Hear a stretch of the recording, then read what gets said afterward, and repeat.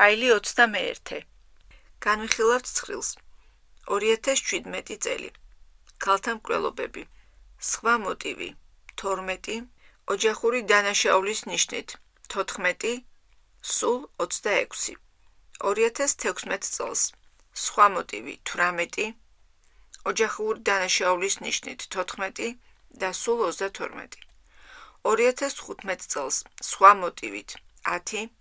ოჯახური დანაშაულის ნიშნით 8 და სულ 18. სახალხო დამცველი ფემიციდის დიდ რაოდენობას კვლავ ქალთა მიმართ და ოჯახში ძალადობის შემთხვევებზე მონიტორინგისა და რისკის შეფასების სისტემის არარსებობას უკავშირებს. საქართველოს სახალხო დამცველის აპარატის გენდერული თანასწორობის დეპარტამენტმა 2017 წელს შეისწავლა ფემიციდის ფემიციდის მცდელობის საქმეები, სადაც საქართველოს შინაგან საქმეთა სამინისტრო დანაშაულის ფაქტამდე იყო ინფორმირებული ოჯახში არსებული შესაძლო ძალადობის შესახებ. სკოლიო 387 საქართველოს სახალხო დამცველის რეკომენდაცია საქართველოს შინაგან საქმეთა სამინისტროს ფრჩხილის გახსნა 27 მე-12 2017 წელი. ნომერი 08 დახრილი ხაზი 17745 ფრჩხილის დახურვა. ოჯახში ძალადობის საქმეებზე არაეფექტიანი რეაგირების შესახებ საქართველოს შინაგან საქმეთა სამინისტროდან გამოთხოვილ ინფორმაციაში რიგ შემთხვევებში რეაგირების განუხორციელებლობის მიზეზად მსხვერპლის მიერ შეტყობინების გაუქმების ფაქტორია მითითებული. ასეთ შემთხვევებში სამართალდამცავი უწყება არ ინტერესდება, რატომ გააუქმა მსხვერპლმა შეტყობინება. ხომ არ დგას შეტყობინების გაუქმების უკან მოძალადის მიმართ შიში ან მისი მხრიდან მუქარა. განსაკუთრებულ ყურადღებას საჭიროებს ის შემთხვევები, როდესაც სამართალ დამცავ უწყებაში სხვერპლს რამდენიმე შეტყობინება აქვს დაფიქსირებული და ზოგიერთ მათგანზე რეაგირებაც მომხდარია. აღნიშნული ფაქტორი იმაზე მიუთითებს, რომ სხვერპლის თითოეულ მიმართვას სამართალდამცავები განიხილავენ როგორც ცალკე აღებულ შემთხვევას და ოჯახში ძალადობის სისტემატურ და განგრძობად ხასიათს არ ითვალისწინებენ. ყურადსაღებია ფემიციდის ის შემთხვევები, სადაც სამართალდამცავი უწყების ინფორმაციით მსხვერპლს მათთვის დასახმარებლად არ მიუმართავს. საქართველოს სახალხო დამცველის საქმის წარმოების ანალიზის საფუძველზე შესაძლოა ითქვას, რომ ამის მიზეზია სამართალდამცავი უწყებების მიმართ უნდობლობა, ძალადობის გაძლიერების შიში და დაურწმუნებლობა არსებული დაცვისა და დახმარების მექანიზმების ეფექტიანობაში. 10.7 ადრეულ ასაკში ქორწინება ადრეულ ასაკში ქორწინებისა და ნიშნობის პრაქტიკა კვლავ რჩება გენდერული უთანასწორობის ერთ-ერთ ყველაზე შემაშფოთებელ გამოვლინებად, რაც ნეგატიურ გავლენას ახდენს ქალთა და გოგონათა უფლებრივ მდგომარეობაზე. მისასალმებელია, რომ 2017 წლის 1 იანვრიდან სახალხო დამცველის მიერ წარდგენილი საკანონმდებლო წინადადების გაზიარების საფუძველზე აიკრძალა 18 წლამდე პირთა ქორწინების რეგისტრაცია, რამაც დადებითი გავლენა იქონია შემთხვევათა შემცირებაზე, თუმცა კვლავ მაღალია ბავშვის დაბადებისას არასრულწლოვანი მშობლების რაოდენობა. სკოლიო 388 საქართველოს იუსტიციის სამინისტროს წერილი ნომერი 488 24.01.2018 წელი და პრობლემად რჩება ადრეულ ასაკში ფაქტობრივი თანაცხოვრების, ქორწინების იზოლების, ნიშნობის და მოტაცების ფაქტები. ნიშნულოვანია ადრეულ ასაკში ქორწინების თანმდევ რისკებთან დაკავშირებით ცნობიერების ამაღლება, განათლების სისტემაში გენდერული საკითხებისა და სასიცოცხლო უნარების კომპლექსური სექსუალური განათლების ინტეგრირების მეშვეობით. ცხრილი ნომერი 4. ადრეულ ასაკში ქორწინება. სკოლიო 389. ცხრილში მოცემულია გამოძიების დაწყების მაჩვენებელი. საქართველოს შინაგან საქმეთა სამინისტროს 2018 წლის 1 თებერვლის წერილი MIA 3-18-00-25-14-25 საქართველოს განათლებისა და მეცნიერების სამინისტროს 2018 წლის 24 იანვრის წერილი MES 1 18 00 06 90 62 საქართველოს იუსტიციის სამინისტროს 2018 წლის 24 იანვრის წერილი ნომერი 488. განვიხილოთ ცხრილი. ქორწინების იძულება 2017 წელს 6 შემთხვევა, 2016 წელს 3 შემთხვევა. თავისუფლების უკანონო აღკვეთა 2017 წელს 51 შემთხვევა, 2016 წელს 27. სექსუალური ხასიათის შეღწევა 16 წელს მიუღწეველთან. 2017 წელს 173 შემთხვევა 2016 წელს 183 სკოლის მიტოვება 2017 წელს 75 შემთხვევა 2016 წელს 115 არასრულწლოვანი მშობელი 2017 წელი 835 2016 წელი 1278 სახალხო დამცველის აპარატის მიერ შესწავლილი საქმეების ანალიზი ცხადყოფს, რომ ზოგად საგანმანათლებლო დაწესებულებებს სამართალდამცავ უწყებებსა და სოციალური მომსახურების სააგენტოს შორის კოორდინაცია ადრეულ ასაკში ქორწინების საქმეებთან დაკავშირებით სუსტია. ამას მოწმობს ისიც, რომ სოციალური სააგენტოს მიერ მოწოდებული ინფორმაციის თანახმად სკოლიო 390 საქართველოს შრომის ჯანმრთელობისა და სოციალური დაცვის სამინისტროს წერილი ნომერი 04 დახრილი ხაზი 2564 17.01.2018 წელი 2017 წელს ადრეულ ასაკში ქორწინების სულ 98 შემთხვევა შეისწავლა. ადრეულ ასაკში ქორწინების პრაქტიკასთან ერთად კვლავ გამოწვევას წარმოადგენს არასრულწლოვანი გოგონების ნიშნობა. სისხლის სამართლის კოდექსის 150 პრიმა მუხლით, რომელიც ქორწინების იძულებას გულისხმობს საქართველოს შინაგან საქმეთა სამინისტროს მიერ მოწოდებული ინფორმაციით, გამოძიება 6 შემთხვევაში დაიწყო, საიდანაც 5 შემთხვევაში შეწყდა გამოძიება, ხოლო სასამართლოს არც ერთი საქმე არ განუხილავს. სკოლიო 391 საქართველოს შინაგან საქმეთა სამინისტროს წერილი MIA 3-18-00-25-14-25 10-02-2018 LGBT პლუს პირთა უფლებრივი მდგომარეობა. საქართველოში არსებული ჰომოფობიური და ტრანსფობიური განწყობები უარყოფითად აისახება LGBT პლუს პირთა უფლებრივ მდგომარეობაზე და საფრთხეს უქმნის თანასწორ უფლებიანობის იდეას. სამწუხაროდ პრობლემად რჩება LGBT+ პირთა საკითხების გენდერული თანასწორობის დღის წესრიგში ინტეგრირება. სკოლიო 392 2014-16 წლების გენდერული თანასწორობის სამოქმედო გეგმა არ ითვალისწინებდა LGBT+ პირთა უფლებების დაცვას ან მათ ჩართვას გადაწყვეტილების მიღების პროცესში, რაც გეგმის ყველაზე მნიშვნელოვანი ნაკლია და ფაქტობრივად გეგმით დასახულ მიზანს გენდერული თანასწორობის მიღწევის შესახებ კითხვის ნიშნის ქვეშ აყენებს. ინფორმაცია ხელმისაწვდომია. http 2 წერტილი მარცხნივ დახრილი 2 ხაზი www.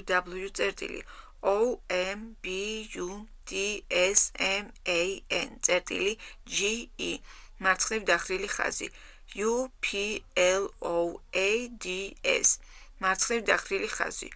OTHER მარცხნივ დახრილი ხაზი. 5 მარცხნივ დახრილი ხაზი. 5069 წერტილი PDF რაც აფერხებს არსებული პრობლემების გადაჭრას. 2017 წლის 17 მაისის ჰომოფობიასა და ტრანსფობიასთან ბრძოლის საერთაშორისო დღის აღსანიშნავად მთავრობის კანცელარიასთან აქცია გაიმართა. სამწუხაროდ მიუხედავად იმისა, რომ აქციის გამართვამდე საკონსულტაციო შეხვედრები გაიმართა შინაგან საქმეთა სამინისტროსა და მთავრობის ადმინისტრაციასთან, აქცია დროსა და სივრცეში შეზღუდული იყო და LGBT+ პირებს არ მიეცათ აქციის ჩატარების ადგილისა და ფორმატის თავისუფალი არჩევის საშუალება. სკოლიო 393 ინფორმაცია ხელმისაწვდომია ვებგვერდზე http 2 წერტილი. მარცხნივ დახრილი 2 ხაზი. ombudsman წერტილი. ge მარცხნივ დახრილი ხაზი. ge მარცხნივ დახრილი ხაზი. news მარცხნივ დახრილი ხაზი s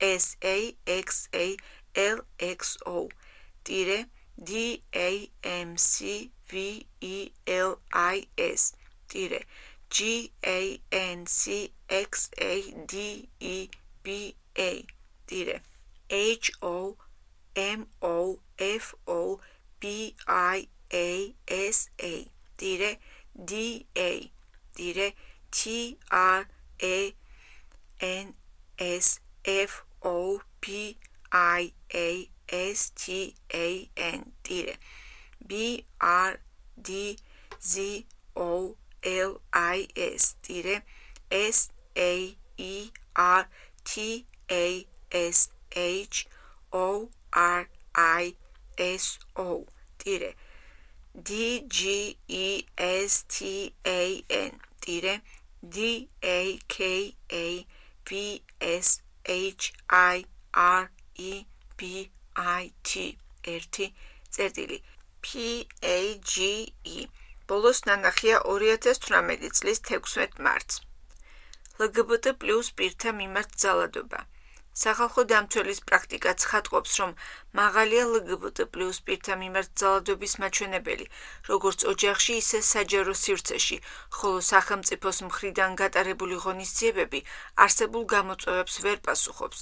საქართველოს სახალხო დამცველის აპარატი არაერთ განცხადებას შეისწავლის, სადაც ლგბტ+ თემის წარმომადგენლები პოლიციელთა მხრიდან სავარაუდო ძალადობაზე, ჰომოფობიურ, შეურაცხმყოფელ დამოკიდებულებასა და არასათანადო რეაგირებაზე უთითებენ. სამწუხაროდ რიგ საქმეებში თავად განცხადებლები ამბობენ უარს საქმის წარმოების გაგრძელებაზე და არ თანამშრომლობენ შსს გენერალურ ინსპექციასთან და პროკურატურასთან, რადგან არა აქვთ განცდა, რომ საქმეს დროულად და სამართლიანად გამოიძიებენ. რიგ საქმეებში კი რთულია მტკიცებულების მოპოვება. პოლიციელთა ჰომოფობიური განწყობები და ძალადობა რომ არ წახალისდეს, ნიშნულოვანია თითოეულ შემთხვევაზე, სადაც კი დარღვევის დასადასტურებლად საკმარისი მტკიცებულებები იკვეთება, კანონმდებლობით გათვალისწინებული ზომების გატარება. სკოლიო 394 საქართველოს სახალხო დამცველის რეკომენდაცია პოლიციის თანამშრომლის მხრიდან ეთიკის ნორმების დარღვევის შესახებ 0901-2018 საქართველოს მთავარი პროკურატურის მიერ მოწოდებული ინფორმაციით 2017 წელს სიძულვილის მოტივის შესწავლა მიმდინარეობდა 86 სისხლის სამართლის საქმის ფარგლებში აღნიშნულიდან 12 საქმეზე შეუწყნარებლობის სავარაუდო ნიშანი იყო სექსუალური ორიენტაცია, ხოლო 37 საქმეზე გენდერული იდენტობა. სკოლიო 395. საქართველოს თავარი პროკურატურის ადამიანის უფლებათა დაცვის სამმართველოს 2018 წლის 23 თებერვლის წერილი ნომერი 13 დახრილი ხაზი 13875 მოწოდებული ინფორმაციის თანახმად შესწავლილი საქმეებიდან 4 საქმეზე 4 პირს წარედგინა ბრალდება და ბრალდების შესახებ დადგენილებაში მითითებულია გენდერული იდენტობის ნიშნით შეუწყნარებლობა, როგორც დანაშაულის მოტივი. ორი პირის მიმართ გამოტანილია გამამტყუნებელი განაჩენი, ხოლო ორი პირის მიმართ სასამართლოში გრძელდება საქმის არსებითი განხილვა. ექვს საქმეზე შესწავლილ იქნა გენდერული იდენტობის ნიშნით შეუწყნარებლობის მოტივი, თუმცა არ დადასტურდა. შესაბამისად, დადგენილებაში სიძულვილის მოტივი მითითებული არ ყოფილა. რაც შეეხება ლგბტ თემთან დაკავშირებით საქართველოს შს სამინისტროს გენერალურ ინსპექციაში შესულ შეტყობინებებს 2017 წელს სულ 21 შეტყობინება განცხადება შევიდა, საიდანაც დისციპლინური გადაცდომის ფაქტი 9 შემთხვევაში არ დადასტურდა. რვა საქმე გადაეცა შს სამინისტროს სხვა უწყებას, მხოლოდ ერთი საქმე გადაეცა პროკურატურას და მიმდინარეობს გამოძიება. ორ საქმეზე კი გრძელდება სამსახურებრივი შემოწმება. სკოლიო 396. საქართველოს შინაგან საქმეთა სამინისტროს 2018 წლის 27 იანვრის წერილი MIA 6 18 00 21 14 68 საქართველოს სახალხო დამცველის აპარატში განსაკუთრებით ხშირია მიმართვიანობა ტრანსგენდერი ქალების მიმართ განხორციელებული ძალადობის შესახებ. სამწუხაროდ, სამართალ დამცა უწყებას არ გააჩნია სიძულვილით მოტივირებული ძალადობის ეფექტიანი რეგულირების სტრატეგია. მხოლოდ ცალკეულ ინციდენტებზე რეაგირებით შემოიფარგლება და პრობლემის სისტემურ ხასიათს ვერ უმკლავდება. 2017 წელს რამდენიმე შემთხვევაში LGBT+ თემის წარმომადგენლებმა ისარგებლეს ოჯახში ძალადობის მსხვერპლთა მომსახურების დაწესებულებით, თუმცა გამომდინარე იქიდან, რომ სერვისის მიღება მათთვის კვლავ დაკავშირებულია რიგ ბარიერებთან, მნიშვნელოვანია, რომ დაწესებულებამ მაქსიმალურად უზრუნველყოს პერსონალის კვალიფიკაციისა და გრძნობელობის ამაღლება. LGBT+ პირთა სოციალური და ეკონომიკური უფლებები. საკონსტიტუციო ცვლილებების ფონზე სახალხო დამცველი უარყოფითად აფასებს ქორწინების ცნების, როგორც ქალისა და მამაკაცის კავშირის რეგულირებას. მსგავსი ჩანაწერი ხელს შეუწყობს ჰომოფობიური განწყობებისა და LGBT პირთა მიმართ ნეგატიური დამოკიდებულების გაზრდას. კონსტიტუციაში მსგავსი ჩანაწერის პარალელურად მნიშვნელოვანია ერთი და იმავე სქესის წყვილთა სამართლებრივი მდგომარეობის აღიარების სხვა ფორმების შემოღებაც, მაგალითად, სამოქალაქო პარტნიორობის წინააღმდეგ შემთხვევაში კონსტიტუციური ჩანაწერი წინააღმდეგობაში მოვა ადამიანის უფლება და დაცვის ევროპული სასამართლოს სტანდარტებთან. სკოლიო 387 C. Valianatos and others, V. Greece. Oliari and others, V. Italy. Schalk and Korf, V. Australia. და ევროპის საბჭოს საპარლამენტო ასამბლეის და მინისტრთა კომიტეტის მიერ გაცემულ რეკომენდაციებთან. სკოლიო 398. Combating discrimination of grounds of sexual orientation or gender identity, Council of Europe Standards 1211 available at http ორი წერტილი მარცხნივ დახრილი ორი ხაზი r m წერტილი c o e წერტილი i n t მარცხნივ დახრილი ხაზი დიდი c o დიდი e დიდი r დიდი m DDP UPLIC DDC O M M O N DDS E A R C H DDS E R V I S E S მარცხნივ დახრილი ხაზი DDD I S P L A Y DDD DDC DDT, DDM, DDC, O, N, T, E, N, T. კითხვის ნიშანი D, O, C, U, M, E, N, T. DDI, D. ტოლობის ნიშანი 09 00 00 1 68 047 F 2 A 6 საქართველოში მცხოვრები LGBT+ პირებისთვის კვლავ დღის წესრიგში დგას განათლების, დასაქმების, შრომის, სხვადასხვა სერვისებზე ხელმისაწვდომობისა და უსაფრთხოების საკითხები. სამწუხაროდ პოლიტიკის დოკუმენტები, რომლებიც გენდერული თანასწორობის გაუმჯობესებისკენ არის მიმართული, ხშირად არ ითვალისწინებს LGBT+ პირთა უფლებრივი მდგომარეობის გაუმჯობესებას. ხოლო ის ფაქტი, რომ აღნიშნულ უფლებებთან დაკავშირებით თემის წევრები ვერ ქმნიან პოლიტიკურ დღის წესრიგს, იმის შედეგია, რომ თემის წევრები არ არიან საკმარისად ჩართული გადაწყვეტილებების მიღების პროცესში. განსაკუთრებით რთულია LGBT+ თემის უფლებრივი მდგომარეობა განათლების უფლებით სარგებლობის კუთხით, მათ შორის განათლების უფლება ეზღუდებათ იმ არასრულწლოვან პირებს, რომელთაც არაკონფორმული გენდერული იდენტობა აქვთ. საქართველოს სახალხო დამცველის მიერ 2017 წელს შესწავლილი საქმეებიდან იკვეთება, რომ საჯარო სკოლებსა და საუნივერსიტეტო სივრცეებში კვლავ გამოწვევას წარმოადგენს ჰომოფობიური და ტრანსფობიური განწყობების აღმოფხრა, რაც მტრულ გარემოს ქმნის და აღნიშნული სივრციდან მათ გარიყვას იწევს. LGBT+ პირთა სექსუალური და რეპროდუქციული ჯანმრთელობა და უფლებები სახალხო დამცველის მიერ 2017 წელს შესწავლილ საქმეთა ანალიზი ცხადყოფს, რომ LGBT+ პირთა ხელმისაწვდომობა სექსუალურ და რეპროდუქციულ ჯანმრთელობასთან დაკავშირებულ სერვისებსა და ინფორმაციაზე შესაძლებელია შეიზღუდოს პირის არაკონფორმული სექსუალური ქცევის, გამოხატვისა და იდენტობის გამო. სახალხო დამცველის მიერ შესწავლილი განცხადებების ანალიზი ცხადყოფს, რომ თემის წევრები ხშირად მიუთითებენ სამედიცინო პერსონალის მხრიდან ჰომოფობიურ დამოკიდებულებაზე, რაც ნეგატიურად აისახება LGBT+ პირების სამედიცინო სერვისებზე ხელმისაწვდომობაზე.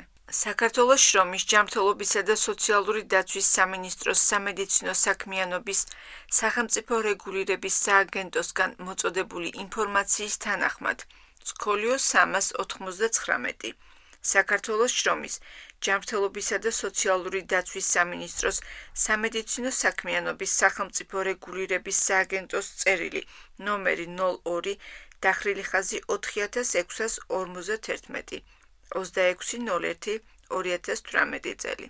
2017 წელს სააგენტოში შესული 7 განცხადებიდან, რომელიც LGBT+ თემის წარმომადგენლების სამედიცინო მომსახურებასთან დაკავშირებულ საკითხებს ეხებოდა, დარღვევა მხოლოდ ერთ შემთხვევაში იკვეთება.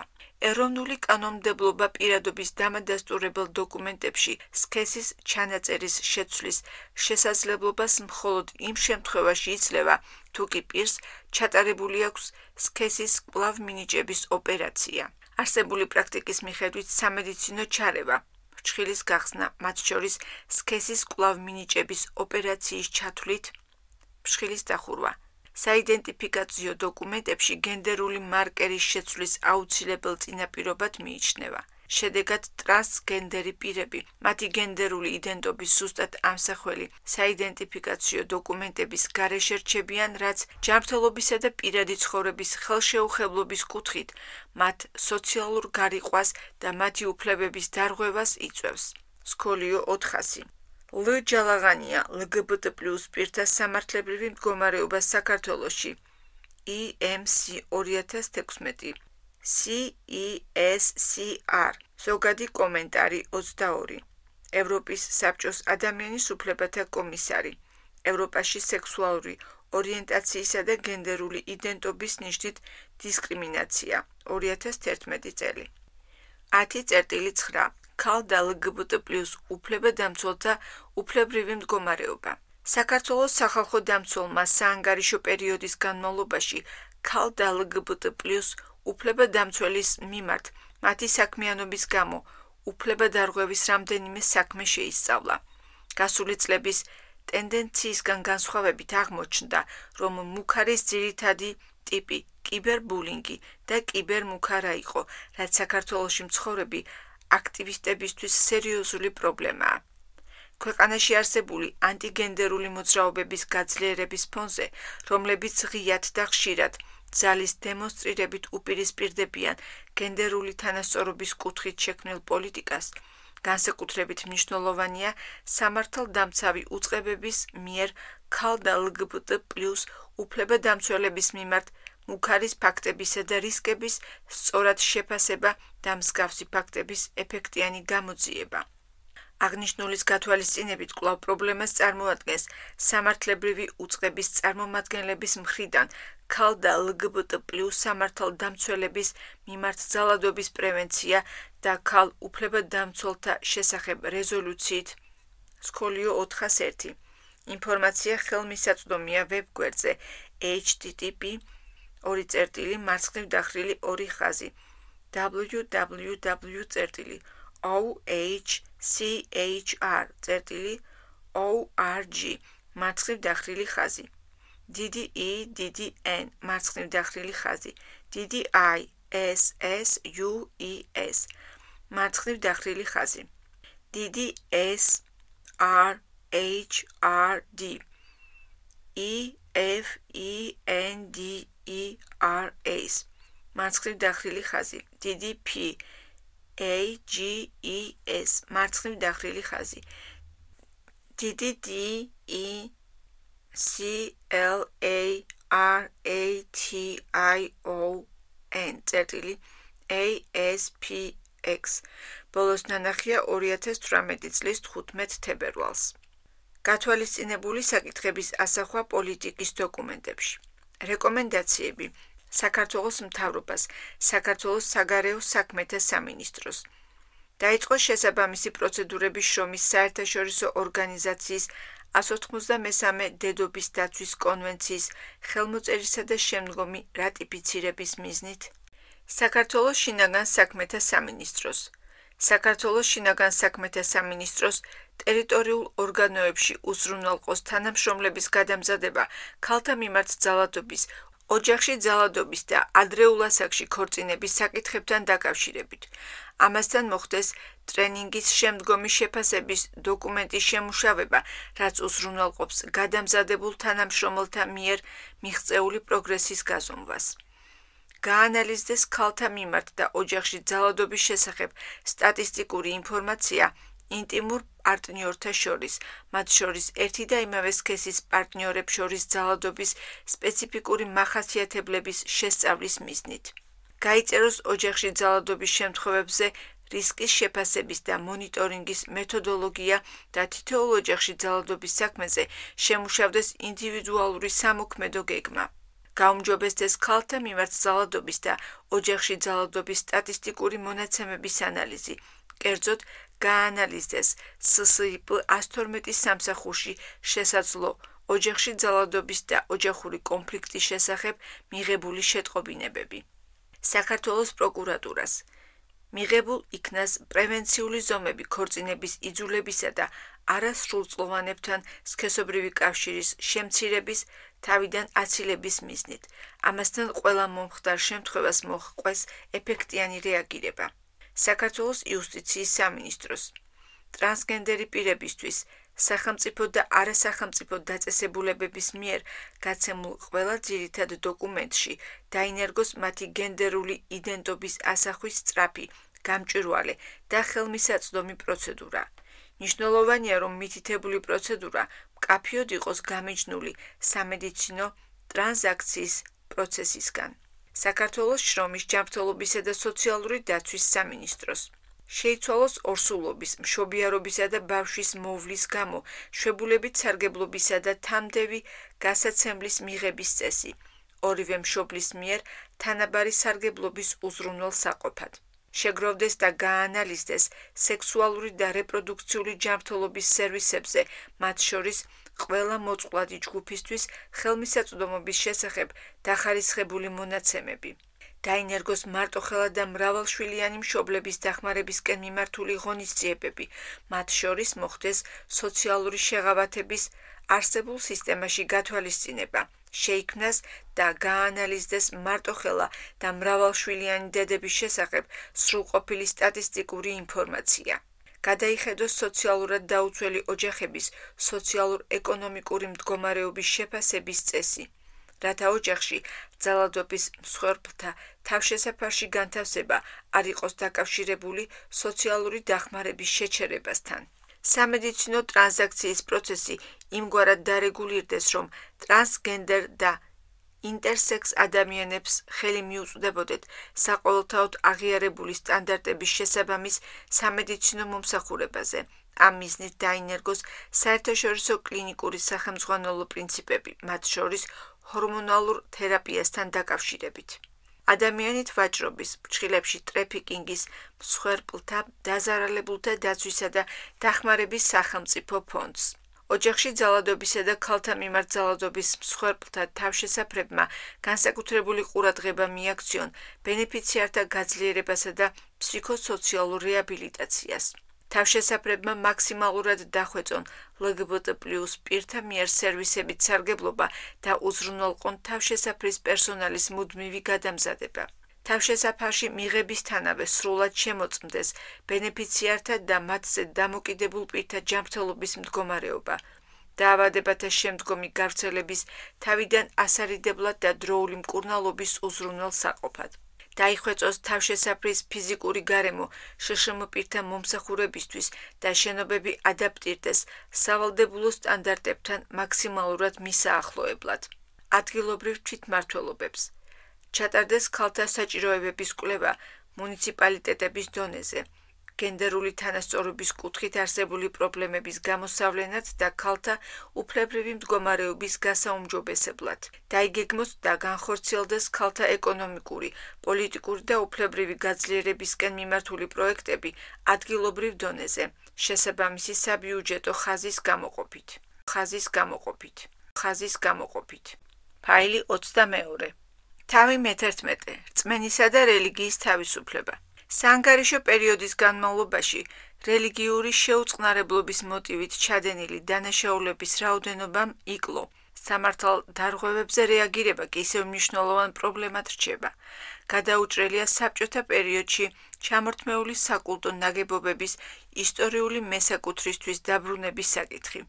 არადომინანტი რელიგიური გაერთიანებები კვლავ აწყდებიან წინააღმდეგობას ახალი ნაგებობების მშენებლობისას.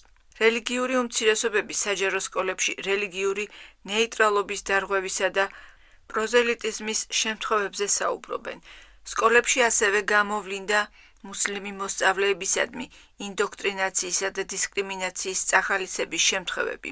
სკოლიო 402. დეტალური ინფორმაცია წარმოდგენილია თანასწორობის უფლების ნაწილში. უცვლელი დარჩა კანონმდებლობაში არსებული უთანასწორო ნორმებიც, რომლებიც არადომინანტ რელიგიურ გაერთიანებებს უთანასწორო პირობებს უქმნის.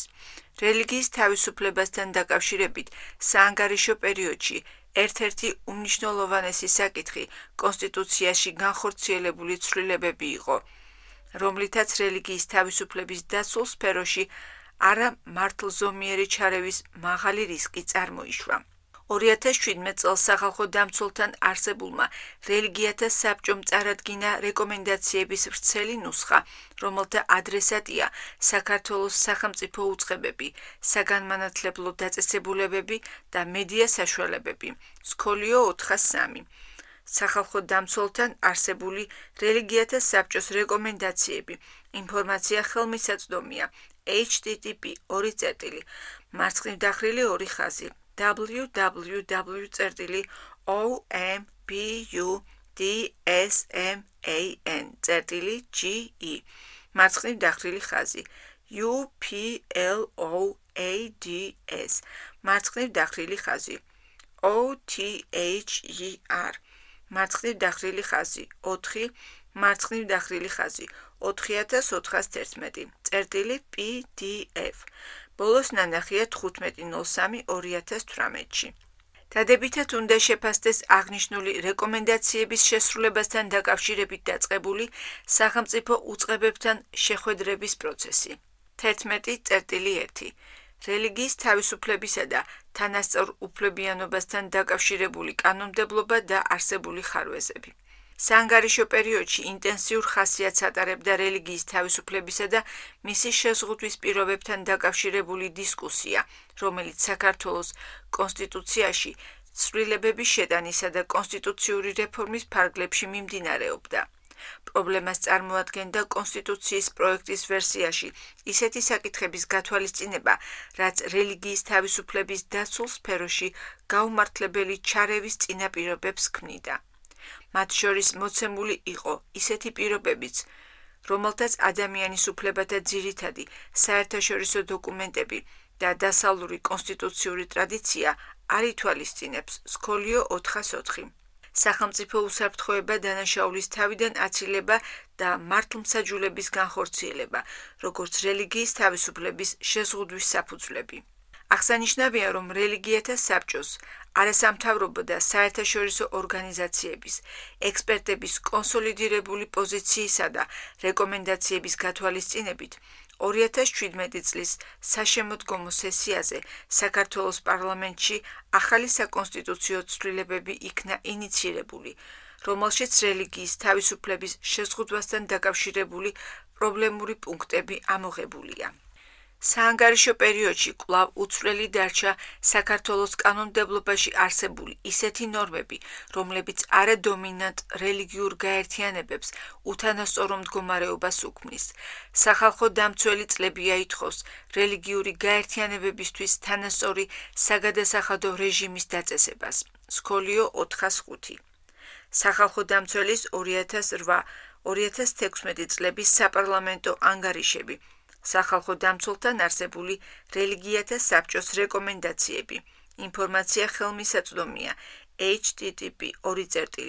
მარცხნივ დახრილი 2 ხაზი www.ombuddsman.ge მარცხნივ დახრილი ხაზი uploads მარცხნივ დახრილი ხაზი O T H E R. მარცხნივ დახრილი ხაზი. 4 მარცხნივ დახრილი ხაზი. 4411 წერტილი PDF ბოლოს ნანახია 15.03.2018-ში საქართველოს საგადასახადო კანონმდებლობა ზოგიერთი გადასახადის ნაწილში. ფჩხილის გახსნა ქონების დამატებული ღირებულებისა და მოგების გადასახადები ფჩხილის დახურვა სკოლიო 406 საქართველოს საგადასახადო კოდექსის 99 162 და 206 მუხლები. საგადასახადო შეღავათებს მხოლოდ მართლმადიდებელი ეკლესიის საპატრიარქოსთვის ადგენს. აღნიშნული ნორმები 2016 წელს 8 რელიგიურმა გაერთიანებამ საქართველოს საკონსტიტუციო სასამართლოში გაასაჩივრა სასამართლომ არსებითად განსახილველად მიიღო სარჩელის ის ნაწილი, რომლითაც ეკლესიებისა და ტაძრების მოხატვა გათავისუფლებულია დამატებითი ღირებულების გადასახადისგან მხოლოდ იმ შემთხვევაში, თუ დამკვეთი მართლმადიდებელი ეკლესიის საპატრიარქოა. სკოლიო 407 საქართველოს საგადასახადო კოდექსის 162 მუხლის მეორე ნაწილის ბ ქვეპუნქტი საანგარიშო პერიოდში სასამართლოს აღნიშნულ სარჩელზე გადაწყვეტილება არ მიუღია. სკოლიო 408. კონსტიტუციური სარჩელი ნომერი 671. დისკრიმინაციულია სახელმწიფო ქონების შესახებ კანონის ნორმებიც. ამ საკითხზე სახალხო დამცველი მუდმივად ამახვილებს ყურადღებას. სკოლიო 409.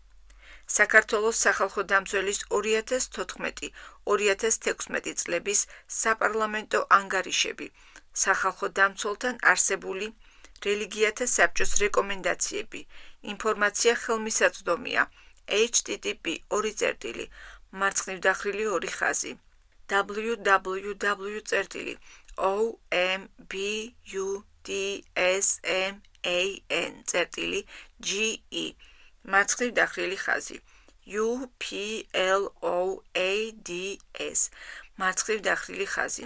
O T H E R. მარცხნივ დახრილი ხაზი. 4 მარცხნივ დახრილი ხაზი. 4411 წერტილი PDF ბოლოს ნანახია 15.03.2018-ში კანონის თანახმად საჯარო სამართლის იურიდიული პირის სტატუსით რეგისტრირებულ პირებს ფრჩხილის გახსნა მათ შორის რელიგიურ გაერთიანებებს ფრჩხილის დახურვა არ აქვთ უფლება სახელმწიფოსგან შეიძინონ ფრჩხილებში სასყიდლით ან უსასყიდლოთ ქონება. გამონაკლის მხოლოდ საქართველოს მართლმადიდებელი ეკლესია წარმოადგენს. სკოლიო 410 სახელმწიფო ქონების შესახებ საქართველოს კანონის მესამე და მეექვსე მესამე პრიმა მუხლები რელიგიურმა გაერთიანებებმა კანონის აღნიშნული ნორმებიც გაასაჩივრეს საქართველოს საკონსტიტუციო სასამართლოში. სკოლიო 411. კონსტიტუციური სარჩელი ნომერი 811. სანგარიშო პერიოდში სასამართლოს აღნიშნულ სარჩელზე საბოლოო გადაწყვეტილება არ მიუღია. რელიგიური გაერთიანებების დაფინანსებისა და საბჭოთა პერიოდში მიყენებული ზიანის ანაზღაურების კუთხით სახელმწიფომ კვლავ შეინარჩუნა უთანასწორო პოლიტიკა. დღესდღეობით საქართველოს სახელმწიფო ბიუჯეტიდან რამდენიმე რელიგიური გაერთიანება ფინანსდება. მათ შორის ყველაზე დიდ დაფინანსებას საქართველოს მართლმადიდებელი ეკლესიის საპატრიარქო იღებს. 2014 წლიდან სახელმწიფო რამდენიმე სხვა რელიგიურ გაერთიანებასაც აფინანსებს. კერძოდ საქართველოს მთავრობამ 2014 წლის 27 იანვრის დადგენილებით მიიღო გადაწყვეტილება დამატებით 4 რელიგიური გაერთიანებისთვის ფრჩხილის გახსნა: სომეხთა სამოციქულო ეკლესია, კათოლიკე ეკლესია, მუსლიმი და იუდაური თემები, ფრჩხილის დახურვა, საბჭოთა პერიოდში მიყენებული მატერიალური და მორალური ზიანის სიმბოლური ანაზღაურების შესახებ. აქტით განსაზღვრული არ არის ის ზიანი, რაც დადგენილებით გათვალისწინებულ რელიგიურ გაერთიანებებს საბჭოთა პერიოდში მიადგათ. ასევე გაუგებარია რა ნიშნით შეირჩა მხოლოდ 4 რელიგიური გაერთიანება. გარდა იმისა, რომ აღნიშნულ მოდელს არ აქვს ზიანის ანაზღაურების ხასიათი, და იგი რელიგიური ორგანიზაციების ყოველწლიური პირდაპირი დაფინანსების სახეს იძენს, პრობლემას წარმოადგენს ისიც, რომ დადგენილების მიხედვით ის რელიგიური გაერთიანებები, რომელთა სახელით დარეგისტრირებულია ერთზე მეტი რელიგიური გაერთიანება, 2014 წლის 10 ნოემბრამდე რეორგანიზაციის გზით ან ერთ საჯარო სამართლის იურიდიულ პირად სკოლიო 412 რომელიც უფლებამოსილი იქნება მიიღოს ანაზღაურება, უნდა გაერთიანებულიყვნენ ან წარმომადგენლობითი საბჭო შეექმნათ. სკოლიო 413, რომელიც შევა ერთი და იმავე აღმსარებლობის ყველა რელიგიური გაერთიანების წარმომადგენელი. იქნება უფლებამოსილი აწარმოოს სახელმწიფო ორგანოებთან თავისი აღმსარებლობის სახელით ურთიერთობა, მიიღოს ანაზღაურება და იყოს სოლიდურად პასუხისმგებელი მიღებული თანხის მიზნობრივად ხარჯვაზე. დადგენილების თანახმად, იმ შემთხვევაში, თუ რეორგანიზაცია დათქმულ ვადაში არ ჩატარდებოდა, გაერთიანებას დაფინანსების შესაძლებლობა არ მიეცემოდა. სკოლიო 414 საქართველოს მთავრობის 2014 წლის 27 იანვრის ნომერი 117 დადგენილებით დამტკიცებული საქართველოსი არსებული რელიგიური გაერთიანებებისთვის საბჭოთა ტოტალიტარული რეჟიმის დროს მიყენებული ზიანის ნაწილობრივ ანაზღაურებასთან დაკავშირებული ზოგიერთი ღონისძიების განხორციელების წესის მესამე მუხლი. ნიშნულოვანია აღინიშნოს ისიც, რომ სახალხო დამცველის აპარატის წარმოებაშია SSIP სრულიად საქართველოს მუსლიმთა უმაღლესი სასულიერო სამართლოს განცხადება, რომლის მიხედვითაც გაერთიანებას მთავრობის დადგენილებით გათვალისწინებული დაფინანსების გაცემაზე უარი სწორედ ვადის გასვლის გამო ეთქვა. ამის შემდეგ ორგანიზაციას დაფინანსების მიღების შესაძლებლობა აღარ მიეცა. 11.2 რელიგიური შეუწყნარებლობის მოტივით ჩადენილი სამართალდარღვევები 2017 წელს წინაწლებთან შედარებით შემცირდა რელიგიური სიძულვილის ნიადაგზე ჩადენილი ძალადობის შემთხვევები. თუმცა უნდა აღინიშნოს, რომ წინაწლებში, ფრჩხილებში 2013-2016 გამოვლენილი სამართალდარღვევების ფაქტებზე რეაგირების თვალსაზრისით პრობლემა არ დაძლეულა. სახელმწიფოს მხრიდან საქმეები უმეტესწილად გამოუძიებელი დარჩა, რაც სისტემური ხასიათის პრობლემად შეიძლება ჩაითვალოს. სანგარიშო პერიოდში იეჰოვას მოწმეთა ქრისტიანულმა ორგანიზაციამ სახალხო დამცველს მათ წინააღმდეგ რელიგიური შეუწყნარებლობის მოტივით ჩადენილი 13 შემთხვევის შესახებ აცნობა. ამათგან 6 შემთხვევა იეჰოვას მოწმეების მიმართ რელიგიური შეუწყნარებლობის მოტივით ჩადენილ ძალადობას შეეხება. ხუთი ფაქტი მათთვის რელიგიური წესის აღსრულებისთვის ხელის შეშლასა და ლიტერატურის გადასატანის სტენდების დაზიანებას, ხოლო ორი სამლოცველო სახლების, სამეფო დარბაზების დაზიანებას უკავშირდება. მიუხედავად იმისა, რომ საანგარიშო პერიოდში რელიგიური შეუწყნარებლობით ჩადენილი დანაშაულების რაოდენობა შემცირებულია, როგორც არსებული სტატისტიკა აჩვენებს, ამგვარი ქმედებების მთავარი სამიზნე კვლავ იეჰოვას მოწმეები არიან. წინაწლების მსგავსად, კვლავ პრობლემად რჩება გამოძიების პროცესში შინაგან საქმეთა სამინისტროს თანამშრომლების ქმედებები. 2017 წელს იეჰოვას მოწმეების მიერ მოწოდებული საქმეებიდან სამ მათგანში იკვეთება სამინისტროს თანამშრომლების მხრიდან სამსახურებრივი უფლებამოსილების სავარაუდოდ ბოროტად გამოყენებისა და გადამეტების ფაქტები. სკოლიო 415 გამცხადებლები მიუთითებენ პოლიციის თანამშრომელთა მხრიდან სავარაუდო სიტყვიერი შეურაცხყოფის, ოქმში ინფორმაციის, სრულად აუსახველობისა და ზეწოლის ფაქტებზე. წინა წლებთან შედარებით რელიგიური შეუწყნარებლობის მოტივით ჩადენილ დანაშაულებზე უფრო ეფექტიანი რეაგირებისა და სამართალ დარღვევებისათვის სწორი კვალიფიკაციის მინიჭების მიუხედავად გამოძიება საერთო ჯამში კვლავ შეიძლება შეფასდეს როგორც არაეფექტიანი. 2016 წელს იეჰოვას მოწმეების მიმართ ჩადენილი ძალადობის, დევნის, რელიგიური წესის აღსრულებისათვის ხელი შეშლისა და სამეფო დარბაზების დაზიანების 6 ფაქტზე დაწყებული გამოძიებები კვლავ უშედეგოდ მიმდინარეობს. სკოლიო 416 საქართველოს შინაგან საქმეთა სამინისტროს 2018 წლის 15 თებერვლის ნომერი 370522 წერილი სახელმწიფოს მხრიდან რელიგიური სიძულვილის მოტივით ჩადენილი დანაშაულების მიმართ გულგრილ დამოკიდებულებასა და საქმეების არაგონივრული ვადით გაჭიანურებაზე მიუთითებს 2012-2014 წლებში მუსლიმების წინააღმდეგ განხორციელებული ძალადობის, მუქარისა და რელიგიური წესის აღსრულებისათვის ხელშეშლის მათ შორის შინაგან საქმეთა სამინისტროს თანამშრომლების მხრიდან სამსახურებრივი უფლებამოსილების გადამეტების სავარაუდო ფაქტებზე სკოლიო 417 2012 წელს ლანჩხუთის მუნიციპალიტეტის სოფელი ნიგუზიანი და თეთრი წყაროს მუნიციპალიტეტის სოფელი წინწყარო. 2013 წელს დედოფლის წყაროს მუნიციპალიტეტის სოფელი სამთაწყარო 2014 წელს ადიგენის მუნიციპალიტეტის სოფლები ჭელა და მუხე ქობულეთის მუნიციპალიტეტი. ყოველგვარი სამართლებრივი შედეგის გარეშე მიმდინარე გამოძიებები ასევე 2014 წელს სრულიად საქართველოს მუსლიმთა სამართლოს ყოფილი შეიხის მიმართ. შინაგან საქმეთა სამინისტროს თანამშრომლების მხრიდან თანამდებობის დატოვების სავარაუდო იძულების ფაქტზე გამოძიება ამ დრომდე გრძელდება. არც ერთ ზემოთქმულ შემთხვევაში დაზარალებულად ან ბრალდებულად არც ერთი პირი არ არის ცნობილი.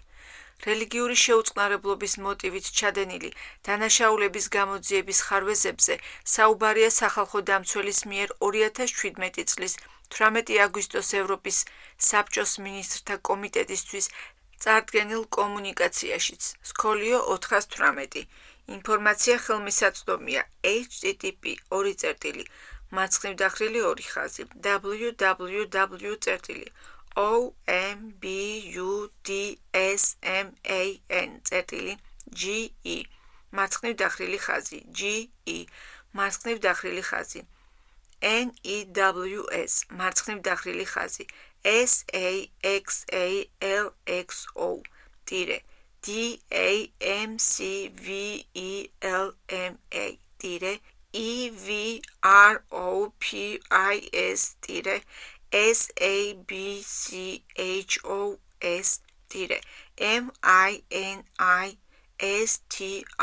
ტირე KOMI T E T I S tire W I N A S H E tire M O R I G I tire K O M U N I K A C I A tire W A R A D G I N A წერტილი PAGE.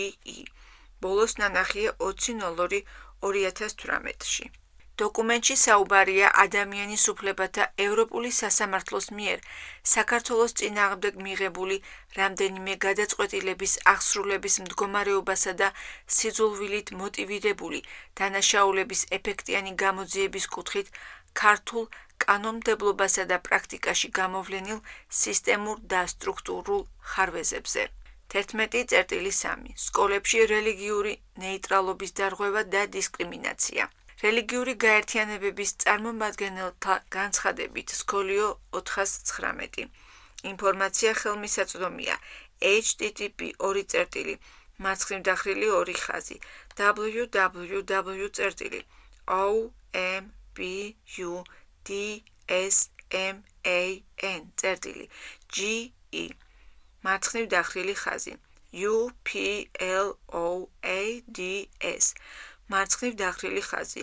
Other მარცხნივ დახრილი ხაზი. 4 მარცხნივ დახრილი ხაზი. 4746 წერტილი pdf ბოლოს ნანახია 20.02.2018-ში კლავ დისკრიმინაციულია საჯარო სკოლებში არსებული გარემო ამ თვალსაზრისით სრულფასოვნად არ არის დაცული ზოგადი განათლების შესახებ საქართველოს კანონის მოთხოვნები რომლის მიხედვით სკოლა ნეიტრალური უნდა იყოს.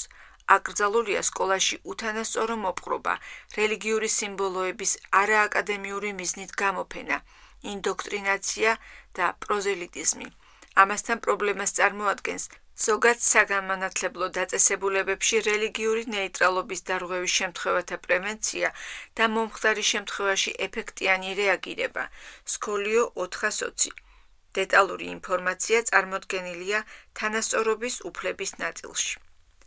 11.4 რელიგიური გაერთიანებების საკუთრებასთან დაკავშირებული პრობლემები.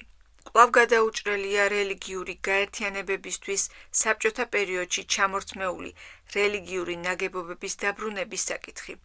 სახელმწიფოს დღემდე არ გადაუდგამს სამართლებრივი ან პოლიტიკური ნაბიჯი, რომლითაც არადომინანტი რელიგიური ჯგუფებისთვის მათი ისტორიული ქონების დაბრუნებას უზრუნველყოფდა. საქართველოს სახელმწიფოსა და საქართველოს სამოციქულო ავტოკეფალურ მართლმადიდებელ ეკლესიას შორის 2002 წელს გაფორმებული კონსტიტუციური შეთანხმების საფუძველზე სკოლიო 421 კონსტიტუციური შეთანხმების მე-7 და მე-11 მუხლები მართლმადიდებელ ეკლესიას მისი ისტორიული საკუთრების დიდი ნაწილი უკვე დაუბრუნდა. რაც შეეხება სხვა რელიგიურ გაერთიანებებს, საქართველოს დამოუკიდებლობის აღდგენის შემდეგ სომეხთა სამოციქულო, კათოლიკე, ევანგელურ-ლუთერული ეკლესიები, მუსლიმი და იუდაური თემები სახელმწიფოსგან ჩამორთმეული საკულტო ნაგებობების დაბრუნებას ითხოვენ. საკულტო ნაგებობების დიდი ნაწილი კი სახელმწიფოს ბალანსზე რჩება. გარდა იმისა, რომ პრობლემას წარმოადგენს ქონების ისტორიული მესაკუთრეებისთვის დაბრუნება, ჩამორთმეულ საკულტო ნაგებობებს ფრჩხილის გახსნა, მათი დიდი ნაწილი კულტურული მემკვიდრეობის ძეგლია, ფრჩხილის დახურვა. სახელმწიფოს მხრიდან ყურადღება არ ეთმობა და ნადგურდება. რესტიტუციის პრობლემის მოგვარების აუცილებლობასა და სახელმწიფოს არეთანამიმდევრულ პოლიტიკას ამ მიმართულებით ცხადყოფს საანგარიშო პერიოდში მართლმადიდებელი ეკლესიისათვის კიდევ ერთი ტაძრის საკუთრების უფლების გადაცემის ფაქტიც. 2017 წელს თბილისში აღმაშენებლის გამზირზე მდებარე დაზიანებული ეკლესია მართლმადიდებელი ეკლესიის საპატრიარქოს გადაეცა.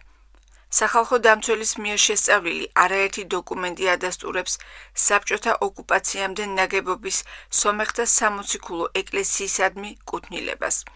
სახალხო დამცველი მიიჩნევს, რომ SSIP სახელმწიფო ქონების ეროვნული სააგენტოს სკოლიო 422 SSIP სახელმწიფო ქონების ეროვნული სააგენტოს თავმჯდომარის 2017 წლის 10 ივლისის ნომერი 1 დახრილი ხაზი 1 ტირე 1600 ბრძანება.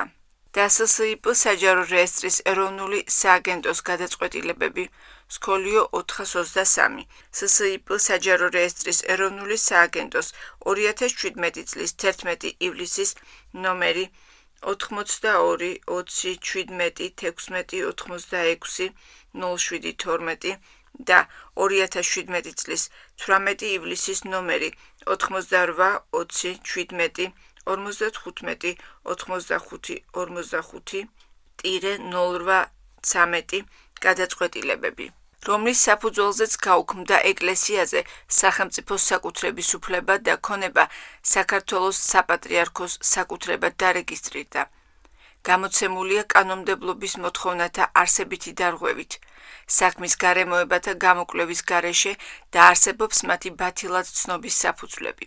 ამავდროულად აუცილებელია შეჩერდეს ძეგლზე დღესდღეისობით მიმდინარე სამუშაოები, რამაც შესაძლოა იერსახე შეუცვალოს საკულტო ნაგებობას და ვერ მოხერხდეს მისი თავდაპირველ მდგომარეობაში მოყვანა. სკოლიო 424 სახალხო დამცველის 2018 წლის 13 მარტის ნომერი 04-9 დახრილი ხაზი 3893 რეკომენდაცია. რესტიტუციის საკითხს უკავშირდება ადიგენის მუნიციპალიტეტის სოფელ მოხეში სადაო საკულტო ნაგებობის გადაცემის საკითხიც. 2017 წელს რელიგიის საკითხთა სახელმწიფო სააგენტოს ეგიდით მოქმედმა ეგრეთ წოდებულმა მოხეს კომისიამ მეტად პრობლემატური გადაწყვეტილება მიიღო. მან ვერ მოახერხა მოხეს ისტორიული მეჩეთის წარმომავლობის დადგენა. შესაბამისად მოხეს მეჩეთი ადგილობრივ მუსლიმ თემს არ გადაეცა. სანაცვლოდ მუსლიმ მოსახლეობას მეჩეთის იმავე სოფელში სხვა ტერიტორიაზე აშენება შესთავაზეს. მიუხედავად სასამართლო გადაწყვეტილებისა რუსთავში კათოლიკე ეკლესიას არ მიეცა შესაძლებლობა საკუთარ მიწაზე წამოეწყო ტაძრის მშენებლობა. სახელმწიფომ ეკლესიის ასაშენებლად მათაც ამავე ქალაქში ასევე სხვა ტერიტორია შესთავაზა. მუნდოვანია საქართველოს პრემიერ-მინისტრის დაქვემდებარებაში მოქმედი რელიგიის საკითხთა სახელმწიფო სააგენტოს როლიც არადომინანტი რელიგიური ჯგუფების მიერ საკულტო ნაგებობების მშენებლობის ნებართვის მოპოვების პროცესში ადგილობრივი თვითმმართველობის ორგანოები, რომლების პასუხისმგებელნი არიან ამგვარი ნებართვის გაცემაზე, ითვალისწინებენ სააგენტოს პოზიციას ამა თუ იმ კონფესიისთვის ნებართვის გაცემის თაობაზე. რაც ადგილობრივი თვითმმართველობის კომპეტენციაში არა მართლზომიერ ჩარევად შეიძლება შეფასდეს. ზოგ შემთხვევაში სახელმწიფო არადომინანტი რელიგიური ჯგუფის საკულტო ნაგებობების აშენებას არა მხოლოდ მშენებლობის ნებართვის გაცემის პროცესში, არამედ მის დაწყებამდეც ეწინააღმდეგება. ამ კუთხით საინტერესოა ბათუმში ახალი მეჩეთის მშენებლობის საკითხი. ბათუმში არსებული მეჩეთი მლოცველებს სათანადო სივრცით ვერ უზრუნველყოფს. წლებია ადგილობრივი მუსლიმები სახელმწიფოსგან ახალი მეჩეთის მშენებლობის შესაძლებლობას ითხოვენ, თუმცა არაერთი დაპირების მიუხედავად საკითხი გადაუჭრელია. 2017 წელს მუსლიმებმა საკუთარი სახსრებით შეიძინეს მიწა მეჩეთის ასაშენებლად, მაგრამ ბათუმის მერიამ მათ 2017 წლის 5 მაისს უარი უთხრა მშენებლობის ნებართვის გაცემაზე. სკოლიო 425 სპეციალურ ზონალურ შეთანხმებაზე უარის თქმის შესახებ 2017 წლის 4 მაისის ნომერი M დახრილი ხაზი 825 და ნაკვეთის სამშენებლოდ გამოყენების პირობების დამტკიცებაზე უარის თქმის შესახებ 2017 წლის 5 მაისის ნომერი M დახრილი ხაზი 828 ბრძანებები. 2017 წლის ზაფხულიდან მოყოლებული მუსლიმები ახლად შეძენილ მიწაზე ღია ცის ქვეშ ლოცულობენ. აღნიშნული გადაწყვეტილების კანონიერების შესწავლა სახალხო დამცველმა საკუთარი ინიციატივით დაიწყო. სკოლიო 426 საქართველოს სახალხო დამცველის აპარატის წარმოებაში არსებული საქმე ნომერი 6929 დახრილი ხაზი 17. შესწავლის შედეგები ცხადყოფს, რომ ბათუმის მერის გადაწყვეტილება საქმისთვის მნიშვნელოვანი გარემოებების გამოკვლევისა და სათანადო დასაბუთების გარეშე იქნა მიღებული. ამასთანავე გამოვლინდა, რომ ბათუმის მერიას არაერთგვაროვანი მიდგომა ჰქონდა სხვადასხვა კონფესიისადმი. კერძოდ იმავე ფუნქციურ ზონაში სკოლიო 427 საცხოვრებელი ზონა 6 რომელშიც მეჩეთის მშენებლობა იქნა მოთხოვნილი.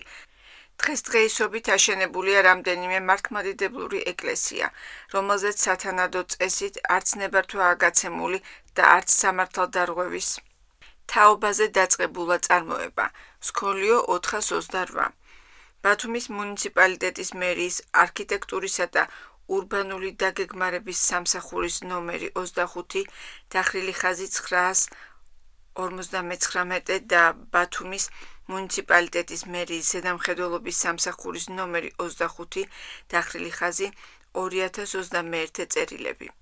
თუმცა მუსლიმთა სკოლიო 429 მუსლიმებმა საკუთარი სახსრებით ააგეს ხის კონსტრუქცია, რომელსაც რელიგიური რიტუალების შესასრულებლად იყენებენ.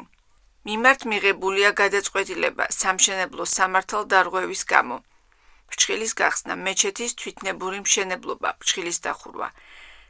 სახთელის დაკისრებისა და დემონტაჟის დავალებასთან დაკავშირებით.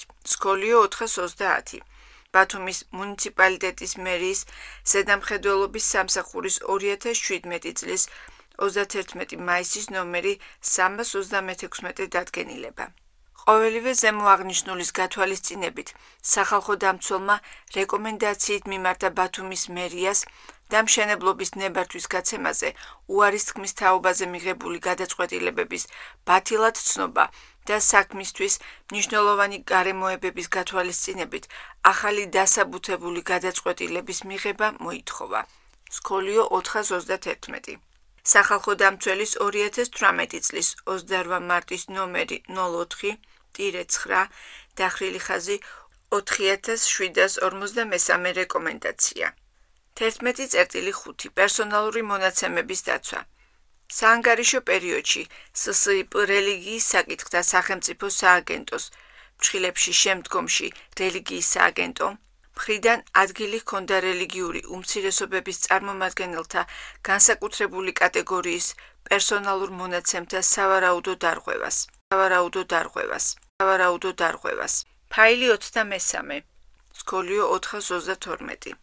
ინფორმაცია ხელმისაწვდომია ვებ გვერდზე http://2.1 მარცხნივ დახრილი ორი ხაზი n e t g a z e t i წერტილი g e დახრილი ხაზი n e w s დახრილი ხაზი 18 92 71 ბოლოს ნანახია 203 2018-ში კერძოდ რელიგიის სააგენტომ პროექტის რელიგიური რუკა. განხორციელების ფარგლებში რელიგიური ორგანიზაციებისგან წერილობით მოითხოვა სასულიერო პირთა სრული სია პირადობის დამადასტურებელი მოწმობების ასლები, საკონტაქტო მონაცემები, მათი სასულიერო ხარისხისა და მსახურების ადგილის შესახებ ინფორმაციის მითითებით. სკოლიო 433 SSIP რელიგიის საკითხთა სახელმწიფო სააგენტოს 2017 წლის 12 აპრილის ნომერი 1 დახრილი ხაზი 552 წერილი. იმის გათვალისწინებით, რომ რელიგიურ მრწამსთან დაკავშირებული ინფორმაცია განსაკუთრებული კატეგორიის მონაცემებს მიეკუთვნება. სკოლიო 434. პერსონალურ მონაცემთა დაცვის შესახებ საქართველოს კანონის მეორე მუხლი ბ ქვეპუნქტი და პერსონალური მონაცემების ავტომატური დამუშავებისას ფიზიკური პირების დაცვის შესახებ კონვენცია. მეექვსე მუხლი. ხოლო მონაცემთა დამუშავება თავის მხრივ მონაცემთა მიმართ შესრულებულ ნებისმიერ მოქმედებას გულისხმობს, მათ შორის მის გამოთხოვასაც. სკოლიო 435. პერსონალურ მონაცემთა დაცვის შესახებ საქართველოს კანონის მეორე მუხლის д ქვეპუნქტი. და კანონმდებლობა ამგვარი მონაცემების დამუშავებას მკაცრად განსაზღვრული საფუძვლების არსებობის გარეშე დაუშვებლად მიიჩნევს. სკოლიო 436. პერსონალური მონაცემების ავტომატური დამუშავებისას ფიზიკური პირების დაცვის შესახებ კონვენცია. მეექვსე მუხლი. პერსონალურ მონაცემთა დაცვის შესახებ საქართველოს კანონი. მეექვსე მუხლი. სახალხო დამცველს მიაჩნია, რომ რელიგიის სააგენტოს მიერ მოთხოვნილი ინფორმაცია პერსონალურ მონაცემთა დაცვის სფეროში არსებულ კანონმდებლობას ეწინააღმდეგება. წინადადება საქართველოს პარლამენტს. განხორციელდეს ცვლილებები საქართველოს საგადასახადო კოდექსში მოგების დამატებითი ღირებულებისა და ქონების გადასახადებზე რელიგიური გაერთიანებებისთვის თანაბარი შეღავათების უზრუნველსაყოფად. განხორციელდეს შესაბამისი ცვლილებები სახელმწიფო ქონების შესახებ სახელმწიფო კანონში, რომლის მიხედვით საქართველოს სამოციქულო ავტოკეფალური მართლმადიდებელი ეკლესიის მსგავსად საჯარო სამართლის იურიდიული პირის სტატუსის მქონე სხვა რელიგიურ გაერთიანებებსაც მიეცემათ მათთვის სახელმწიფო საკუთრებაში არსებული ქონების პირდაპირი მიყიდვის წესითა და უსასყიდლოდ გადაცემის საშუალება. რეკომენდაციები საქართველოს მთავრობას შევიდეს შესაბამისი ცვლილებები. საქართველოს მთავრობის 2014 წლის 27 იანვრის ნომერ 117 დადგენილებაში საქართველოსში არსებული რელიგიური გაერთიანებებისთვის საბჭოთა ტოტალიტარული რეჟიმის დროს მიყენებული ზიანის ნაწილობრივ ანაზღაურებასთან დაკავშირებული ზოგიერთი ღონისძიების განხორციელების წესის შესახებ. რელიგიური გაერთიანებების კომპენსაციის არსებული უთანასწორო პრაქტიკის აღმოსაფხვრელად მათ შორის დაწესდეს ახალი ვადა რელიგიური ორგანიზაციებისთვის გაერთიანების ან წარმომადგენლობითი საბჭოს შესაქმნელად.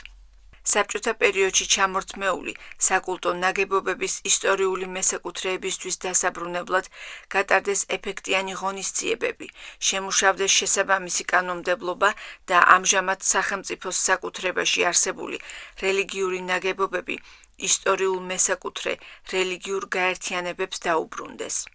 აღიკვეთოს რელიგიური გაერთიანებებისთვის მშენებლობის ნებართვის გაცემის პროცესში ბარიერების შექმნის პრაქტიკა და ამ მიმართულებით ცენტრალური ხელისუფლების მიერ თვითმმართველობის კომპეტენციაში არამართლზომიერი ჩარევა.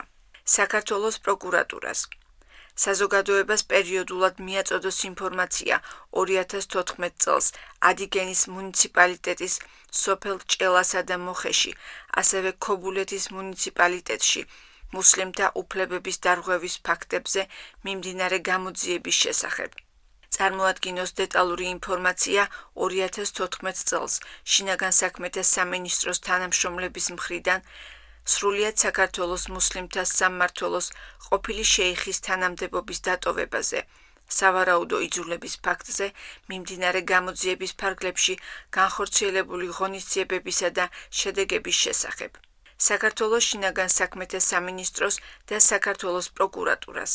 წარმოადგენს დეტალური ინფორმაცია 2012-2014 წლებში მუსლიმი მოსახლეობის წინააღმდეგ სოფელ ნიგზიანში წინწყაროში, სამთაწყაროსა და ქობულეთში განხორციელებულ ქმედებებზე მიმდინარე გამოძიების, ასევე იეჰოვას მოწმეების და სხვა რელიგიური გაერთიანებების წარმომადგენლების მიმართ ჩადენილი სავარაუდო სამართალ დარღვევის შემთხვევებზე განხორციელებული ღონისძიებების შესახებ. საქართველოს განათლებისა და მეცნიერების სამინისტროს შეიქმნა სპეციალური მონიტორინგისა და რეაგირების ჯგუფი, რომელიც საჯარო სკოლებში ზოგადი განათლების შესახებ საქართველოს კანონის მოთხოვნათა აღსრულებას პროაქტიულად გაუწევს მონიტორინგს და დარღვევის აღმოჩენის შემთხვევაში მოახდენს სათანადო რეაგირებას. სახალხო დამცველთან არსებული რელიგიათა საბჭოს და რელიგიის თავისუფლების საკითხებზე მომუშავე არასამთავრობო ორგანიზაციების მონაწილეობით შეიმუშაო საგანგებო სამოქმედო გეგმა სკოლებში რელიგიური ნეიტრალიტეტის დაცვისა და ტოლერანტობის კულტურის დასამკვიდრებლად. შეისწავლო საჯარო სკოლებში რელიგიური იდენტობის გამოხატვის თავისუფლების ფრჩხილის გახსნა, მათ შორის ქალის ტრადიციული მუსლიმური თავსაბურავის, ჰიჯაბის, ტარების ფრჩხილის დახურვა. საკითხი და ჩამოაყალიბოს ყველა საჯარო სკოლისთვის სავალდებულო ერთიანი მიდგომა, რომელიც ორიენტირებული იქნება მოსწავლეების რელიგიური იდენტობის გამოხატვის თავისუფლებაზე. ადგილობრივ თვითმმართველობებს რელიგიური გაერთიანებების საკულტო ნაგებობების მშენებლობის ნებართვის გაცემის პროცესში დაიცვან რელიგიური ნეიტრალიტეტი და თანასწორუფლებიანობის კონსტიტუციური პრინციპი. თავი მე-12 გამოხატვის თავისუფლება გამოხატვის თავისუფლება დემოკრატიული საზოგადოების ფუნდამენტია და შესაბამისად ამ კუთხით არსებული გამოწვევების შესწავლა საქართველოს სახალხო დამცველი საქმიანობის ერთ-ერთი პრიორიტეტია. სანგარიშო პერიოდში კვლავ აქტუალურია სახალხო დამცველის რეკომენდაცია სკოლიო 427 საქართველოს სახალხო დამცველის 2016 წლის ანგარიში. საქართველოსი ადამიანის უფლებათა და თავისუფლებათა დაცვის მდგომარეობის შესახებ გვერდი 440 სპეციალურ სტატისტიკაში არა მხოლოდ ჟურნალისტისთვის პროფესიულ საქმიანობაში ხელშეშლის დანაშაულების, არამედ ჟურნალისტების წინააღმდეგ ჩადენილი ყველა იმ დანაშაულებრივი ქმედების ასახვის თაობაზე, რომელიც მათ პროფესიულ საქმიანობას უკავშირდება. სკოლიო 428 საქართველოს შინაგან საქმეთა სამინისტროს 2018 წლის 9 თებერვლის ნომერი MIA 918 00 32 78 32 გამოხატვის თავისუფლების კონტექსტში საყურადღებო შემთხვევები იყო 2017 წლის თებერვალსა და აგვისტოში. ონლაინ მედია საშუალება გურია ნიუსისა და სკოლიო 429 ინფორმაცია ხელმისაწვდომია ვებ გვერდზე http://2 მარცხნივ დახრილი ორი ხაზი. n e t g a z e t i. წერტილი g e. დახრილი ხაზი. N e w s. დახრილი ხაზი. 17 48 08 ბოლოს ნანახია 16.02.2018-ში. ახალი ამბების სააგენტო ინტერპრეს ნიუსის. სკოლიო 440 ინფორმაცია ხელმისაწვდომია ვებგვერდზე. http://2 მარცხნივ დახრილი ორი ხაზი. epn.ge დახრილი ხაზი. კითხვის ნიშანი. id ტოლობის ნიშანი. 50 548 ბოლოს ნანახია 16.02 2018-ში. ვებგვერდებზე განხორციელებული ჰაკერული თავდასხმები, რასაც მათი მუშაობის შეფერხება მოხდა. საქართველოს შინაგან საქმეთა სამინისტროს ცნობით, გურია ნიუსის ვებგვერდზე განხორციელებულ თავდასხმასთან დაკავშირებით მიმდინარე გამოძიება კონკრეტულ შედეგებამდე დღემდე არ მისულა. სკოლიო 451 საქართველოს შინაგან საქმეთა სამინისტროს 2018 წლის 9 თებერვლის ნომერი MIA 518 00 32 67 59 წერილი ხოლო ექსპრეს ნიუსის ვებგვერდზე უკანონო შეღწევის ფაქტზე გამოძიება საერთოდ არ დაწყებულა. სკოლიო 452 საქართველოს შინაგან საქმეთა სამინისტროს 2018 წლის 14 თებერვლის ნომერი MIA 018 00 36 48 50 წერილი სახალხო დამცველის მითითებით ქვეყანაში თვითგამოხატვის თავისუფლების რეალიზების უზრუნველსაყოფად მნიშვნელოვანია რომ საგამოძიებო უწყებამ დასახელებულ და ყველა მსგავს შემთხვევებზე გამოძიება დროულად და ეფექტიანად წარმართოს. 12.1 აფგან მუხთარლის საქმე. საანგარიშო პერიოდის ერთ-ერთი ყველაზე აქტუალური საკითხი იყო 2017 წლის 29 მაის თბილისის ცენტრიდან აზერბაიჯანელი ჟურნალისტის აფგან მუხთარლის გაუჩინარების საქმე, რომელსაც სახალხო დამცველი საჯერო განცხადებით არაერთხელ გამოეხმაურა. სკოლიო 453. განცხადებები ხელმისაწვდომია ვებგვერდებზე. http ორი წერტილი მარცხნივ დახრილი ორი ხაზი www წერტილი ombudsman წერტილი ge მარცხნივ დახრილი ხაზი G E მარცხნივ დახრილი ხაზი N E W S მარცხნივ დახრილი ხაზი S A Q A R T V E L O S ტირე S A X A L X O ტირე D A M C V E L I ტირე A Z E R B I A B J A N E L I. Dire. J U R N A L I S T I S. Dire. G I U C H I N A R E B A S. Dire. E X M I A N E B E წერტილი. P A G E.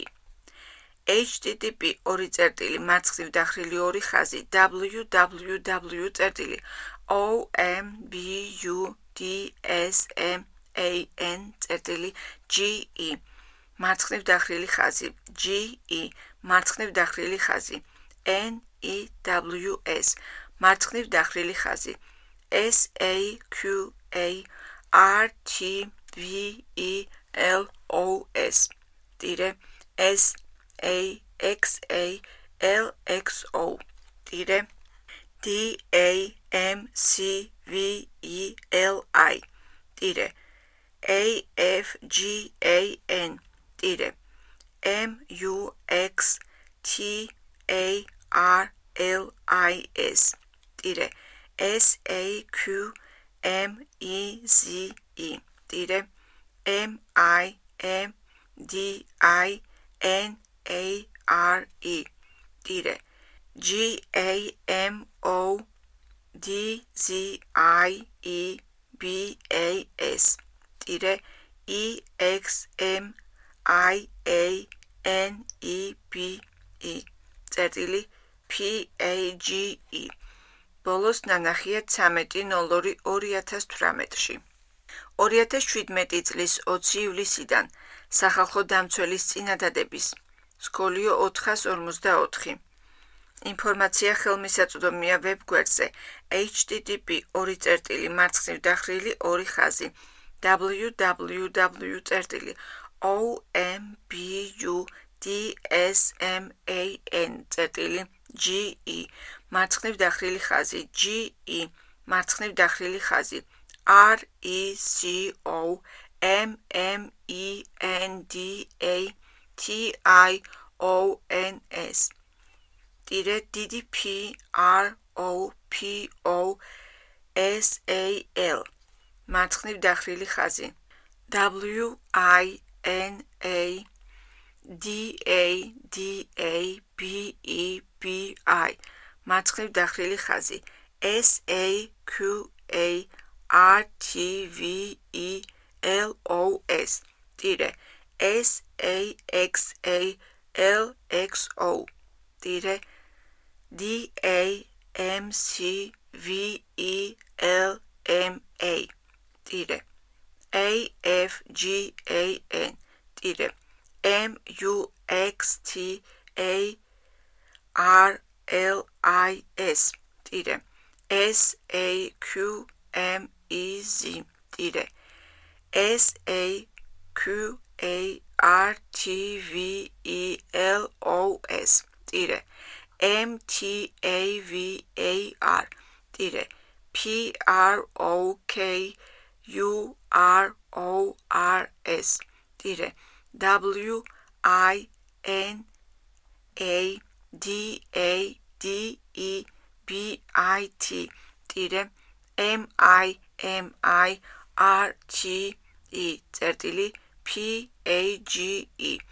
ბოლოს ნანახია 14.02.2018-ში ნაწილობრივი გათვალისწინების შედეგად აფგან მუხთარლის საქმე გამოსაძიებლად საქართველოს მთავარი პროკურატურის საგამოძიებო ნაწილს გადაეცა, თუმცა პროკურატურას არ გაუაზრებია დასახელებული წინადადების ის ნაწილი, რომელიც ჟურნალისტისთვის დაზარალებული სტატუსის მინიჭებას მოითხოვდა. სკოლიო 445. ინფორმაცია ხელმისაწვდომია ვებგვერდზე http://ory მარცხნივ დახრილი 2 ხაზი www. O M B U D S M A N წერტილი G E მარცხნივ დახრილი ხაზი. G E მარცხნივ დახრილი ხაზი. N E W S მარცხნივ დახრილი ხაზი. S A Q A R T V E L O S ტირე M T A V A R M A. ტირე P R O K U R A T U R A M dire. S A X A L X O. Dire. D A M C V E L I S. Dire. W I N A D A D E B A. Dire.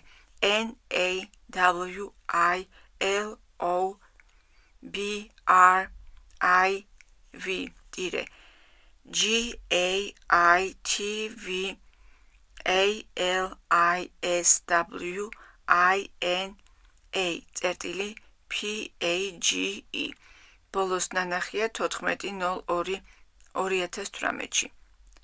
სახალხო დამცველი არ ეთანხმება ამგვარ პოზიციას და კვლავ მიიჩნევს, რომ სახეზეა მუხთარლისთვის დაზარალებული სტატუსის მინიჭების წინაპირობები, რამდენადაც ჩადენილი შესაძლო დანაშაულის შედეგად მას ზიანი მიადგა. აღსანიშნავია, რომ პროკურატურას მიმდინარე გამოძიების ფარგლებში არ გამოუკვლევია დანაშაულის დამამძიმებელი. ისეთი გარემოებების არსებობა, როგორებიცაა თავისუფლების უკანონო აღკვეთა წინასწარ შეთანხმებული ჯგუფის მიერ, დაზარალებული საზღვარგარეთ გაყვანით ან და დაზარალებული საზღვარგარეთ გაყვანით, ჩადენილი ორგანიზებული ჯგუფის მიერ. სკოლიო 446 საქართველოს მთავარი პროკურატურის 2018 წლის 25 იანვრის ნომერი 13 დახრილი ხაზი 5929 წერილი. რის გამოც გამოძიება კვლავ სისხლის სამართლის კოდექსის 153 მუხლის ფრჩხილებში თავისუფლების უკანონო აღკვეთა პირველი ნაწილით მიმდინარეობს.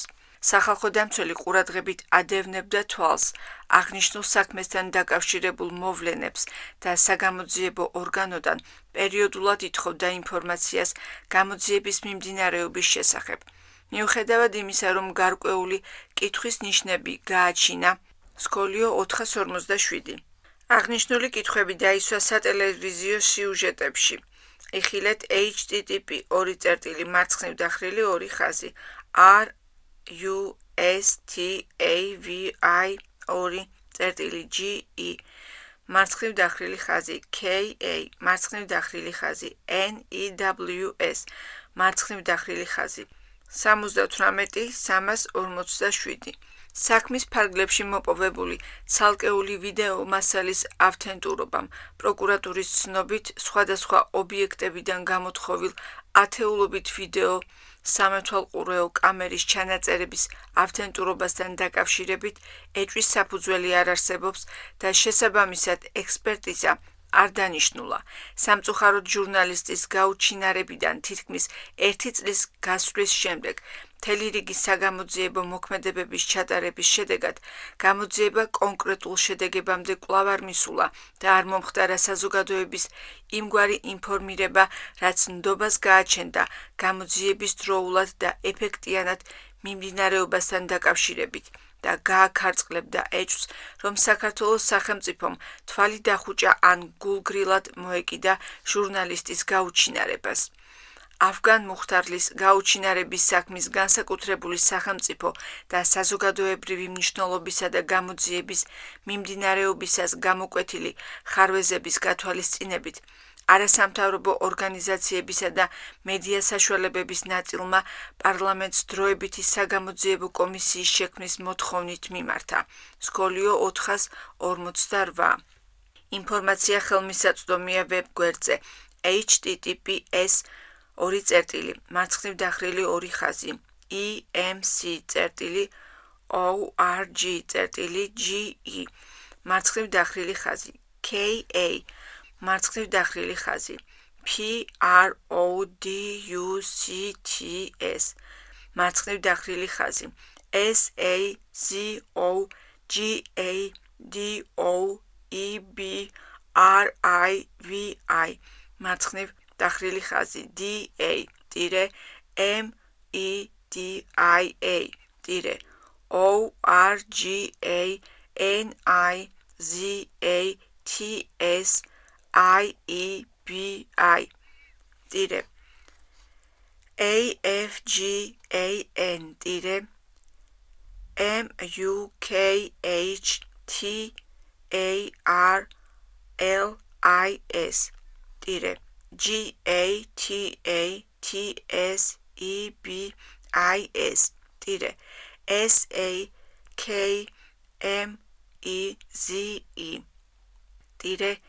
S A K A R T V E L O S. Dire P A R L A M E N T S A.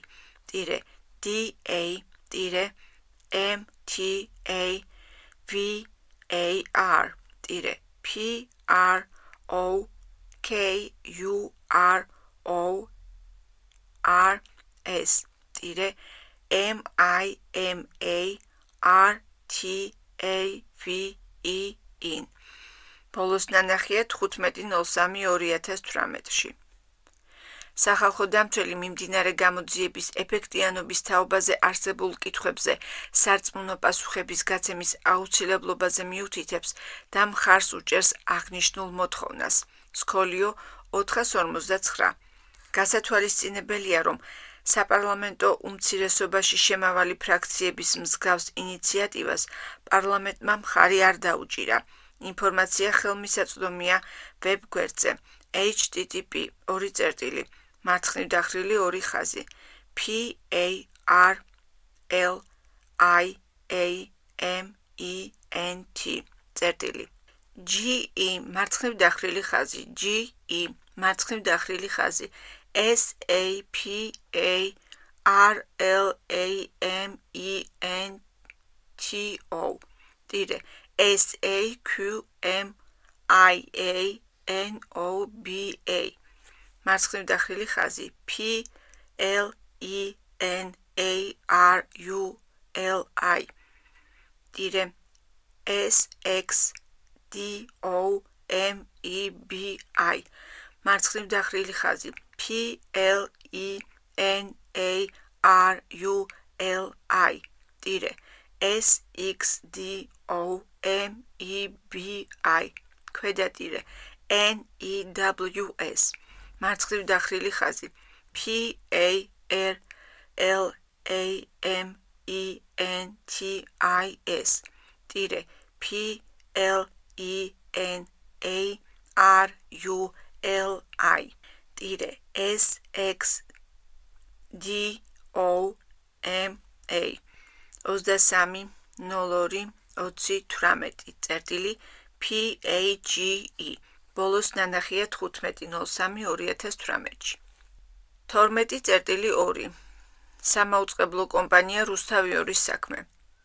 სახალხო დამცველი ბოლო წლების განმავლობაში აქტიურად ადევნებდა თვალყურს. ტელეკომპანია რუსთავიორის ირგვლივ განვითარებულ მოვლენებს, რეგულარულად აკვირდებოდა სასამართლო პროცესებს და შეისწავლიდა შესაბამის დოკუმენტაციას. სკოლიო 450 საქართველოს სახალხო დამცველის 2015 წლის ანგარიში საქართველოში ადამიანის უფლებათა და თავისუფლებათა დაცვის მდგომარეობის შესახებ. გვერდი 510 511 საქართველოს სახალხო დამცველის 2016 წლის ანგარიში საქართველოში ადამიანის უფლებათა და თავისუფლებათა დაცვის მდგომარეობის შესახებ.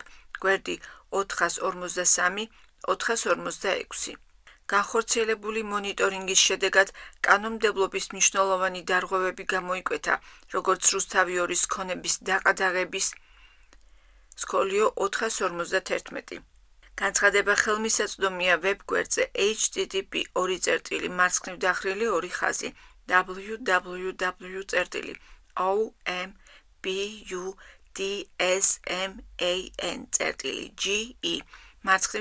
ხაზი ge მარცხნივ დახრილი ხაზი n e w s მარცხნივ დახრილი ხაზი s D A M C V E L I S. Dire G A N C X A D A B A.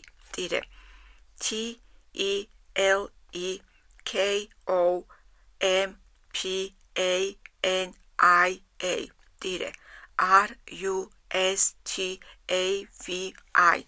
Dire ori dire I S. Dire q o n e b i s. ტირე d a y a d a g e b a s t a n. ტირე d a k a v s h i r e b i t. წერტილი p a g e. ბოლოს ნანახია 21.02.2018-ში და ტელეკომპანიაში დროებითი მმართველის დანიშნვის სკოლიო 452 განცხადება ხელმისაწვდომია ვებგვერდზე ხაზი www.ombudsman.ge მარცხნივ დახრილი ხაზი GE მარცხნივ დახრილი ხაზი NI